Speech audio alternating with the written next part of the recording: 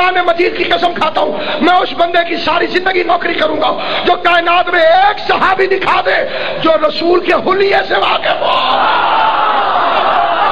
किसी को मालूम नहीं है कि पैगंबर कैसे थे। अगर मालूम होता तो किताबों में ना लिखा होता कि जब यमन का एक वक्त आया, हजूर दुनिया से जा चुके थे और वह मदीने में पूछ रहा था अच्छा रसूल कैसे थे? आँखें कैसी थी? नाक कैसा था? माथा कैसा था? चादर जहरा की कसम, न पहला बता सका, न दूसरा बता सका, क्योंकि देखने की कुत ही न थी, देखने की ताकत ही न थी। साथ रहकर भी मोहम्मद को नहीं देख पाए।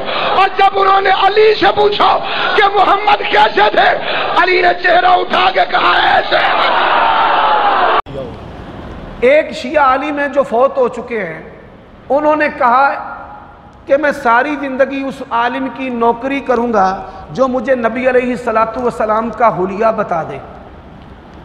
लो जी, वो कहते हैं, लोग बाहर से आते थे तो पूछते थे, रसूलुल्लाह का चेहरा कैसा था? तो सहाब किराम से देखा ही नहीं जाता था तो वो बयान क्या करते? या सहाब कराम ने नौजबिल्ला बयान किया नहीं।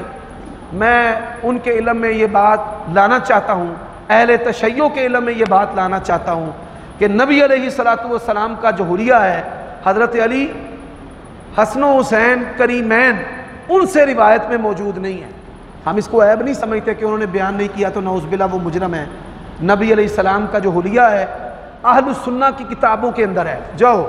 एक चैलेंज मैं भी करता हूँ। उसने तो चैलेंज किया ना जहालत की बुनियाद पर। हज़रत नसुबन मालिक की हदीस है, नबी सलाम के रुखसार ऐसे थे, आँखें ऐसी थी, हाथ ऐसे थे, छाती ऐसी थी। एक हदीस के अंदर ही उन्होंने नबी सलाम का उलिया बयान किया है। किसने? अनस बिन मालिक रज़ी अल्लाह ने। अब मैं चैलेंज करता हूँ।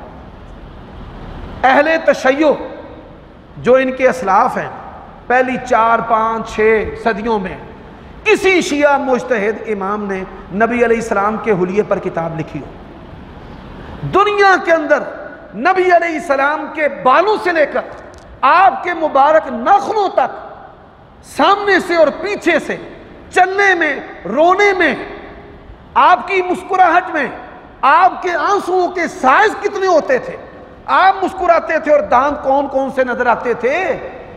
ये सहाब कराम ने बयान किया है और इस पर किताब है शुमाल तिरमदी।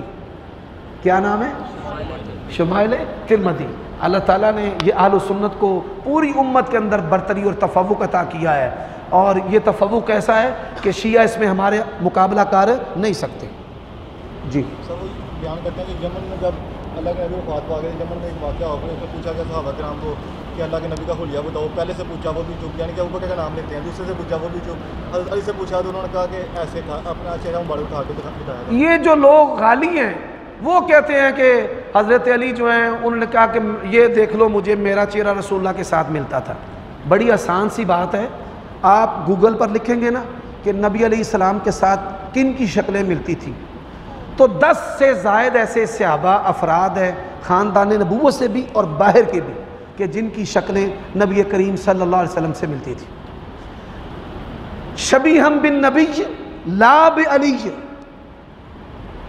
हदीस के अंदर आता है कि ये जो हुसैन है, हसन है, इसका चेहरा अली से नहीं मिलता। किसे मिलता है? रसूलुल्लाह से। ये हदीस ही बताती है कि हज़रत अली नबी इस्लाम के शबी नहीं थे।